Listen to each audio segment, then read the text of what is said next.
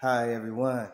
This is D, and today we're just going to do another talk, and let's just talk about divine timing.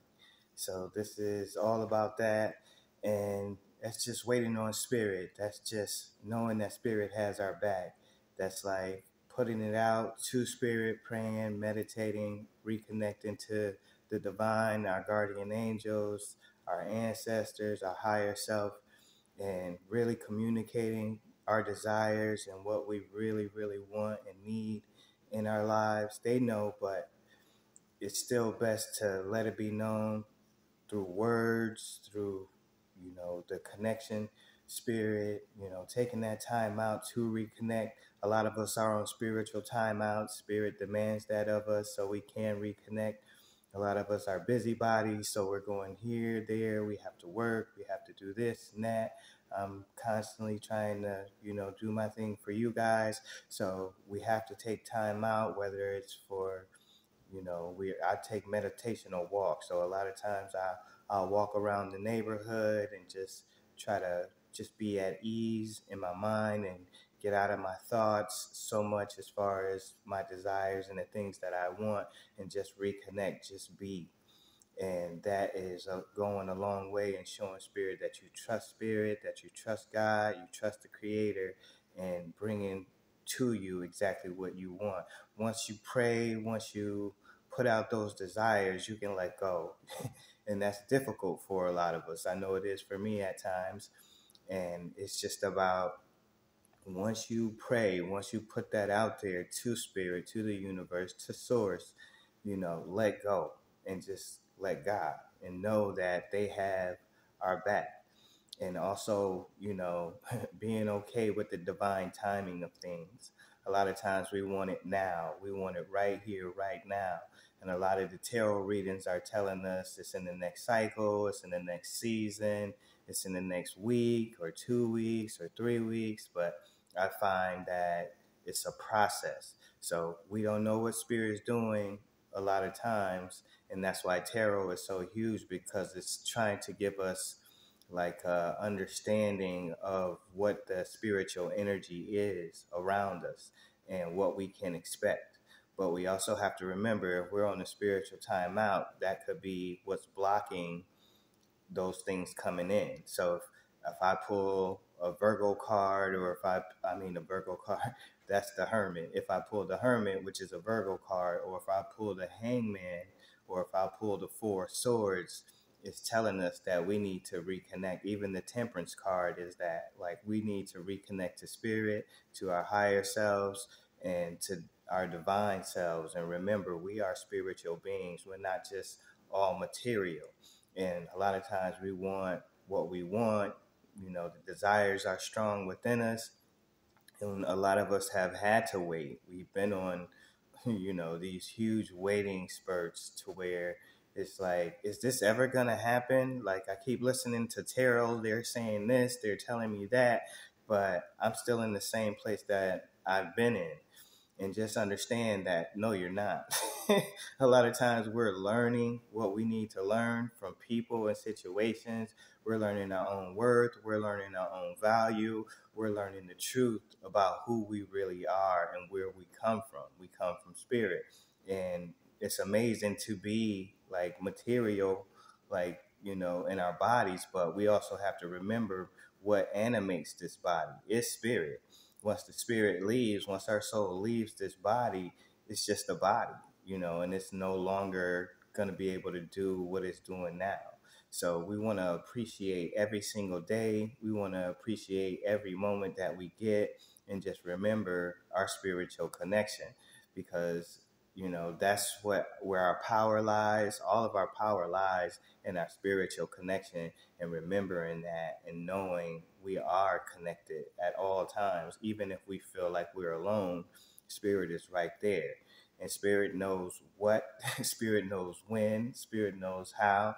There's a song that i listen to from stevie wonder and it's called always.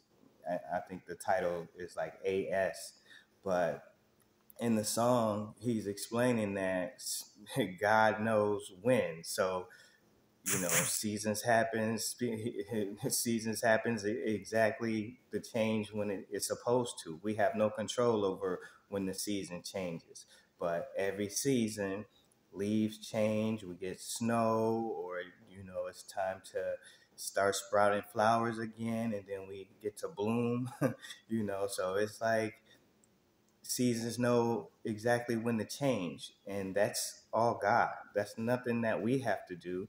We just wake up and see the new day.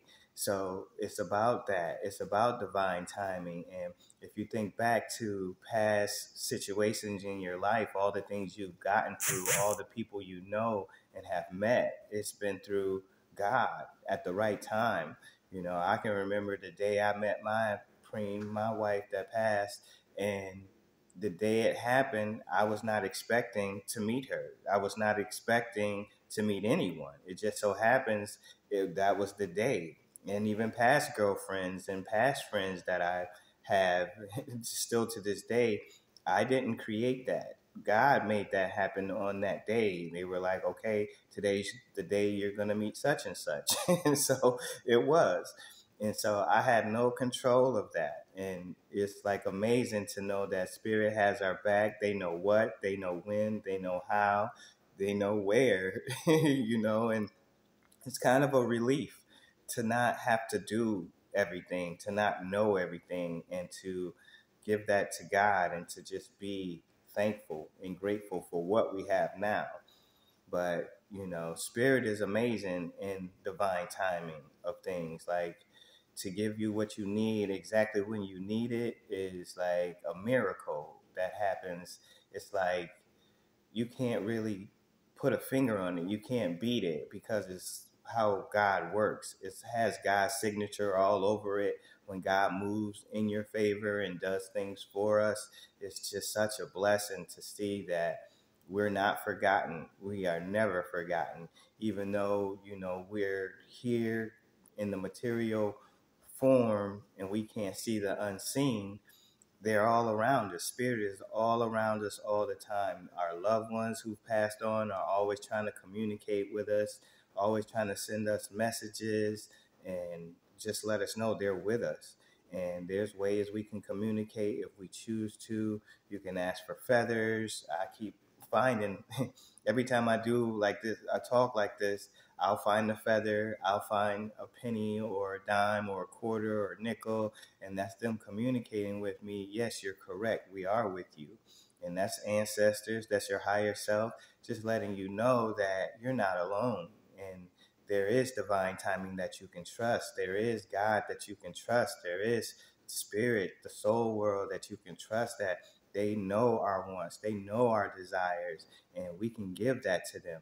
But it's up to us to be the perfect antenna and receive and know that we're receiving blessings even when you know we're not getting what we want we still get to wake up we still get to live another day we still get to enjoy one another we might have some hardships we're going through but it's all in design of a test or a spiritual graduation to get to the other side to see the beauty, to see the greatness, to see your value, to see your worth, and really know that, you know, everything has a reason, everything has a purpose. We're here for that. And this place is like a testing ground. We're always learning, and then we get to enjoy life as well in between.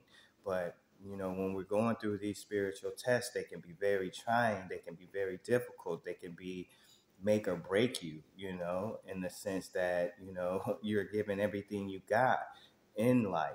But just knowing that spirit has our back and we can wait on God and we can know that God won't leave us. If you look at the birds and the ducks and all these animals outside, they're taking care of themselves. Every morning I get to look out this window and see the birds all different kinds of birds, getting worms, eating grass, you know, in the water, bathing and sunbathing and just enjoying life. And I get to thinking like, okay, I'm all in my mind and all in my head about this and that and all kinds of other things and wanting and desiring and wondering when. when the tarot readings are telling me it's coming in, but it doesn't come in that week, or it doesn't come in the next week, or it doesn't come in the next week after that, I still get glimpses of what they're telling me of, you know, things about to happen. And I do see things each week that the readings say, but everything doesn't happen. Like if I get a reading about love, I'm expecting that to come in and it doesn't come in. So it's just telling me I'm getting closer to that time frame and to be okay with that. And, you know, even with a job or finances or, you know, needing help in certain situations, we have to know that God knows our desires and give that to God. And how you be okay with that is to meditate, is to pray, is to reconnect and just let it go. Give it to God because they love us. We are truly loved by Spirit. And you can know that truly for yourself if you reconnect. And that's why the spiritual timeouts are so huge, so we can reconnect.